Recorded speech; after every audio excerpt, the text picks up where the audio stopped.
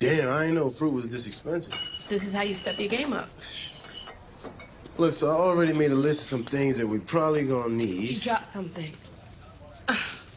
Oh, yeah, uh, I was just cutting printing costs. You gonna piss people off doing business this way. Yeah, but I'm not really trying to make friends. You gotta set the mood for a pleasurable ride. I'm all about giving pleasures. You see these Ferrero Rochers? Yeah. Those things melt in your mouth. And you see these Andes mints? They the bomb. Yeah, but how am I supposed to spot first class passengers? You gotta look for men in suits, collared shirts and slacks, women with skirts and blouses. But you only got one shot. So when they ask you how you doing, don't say, what up, though?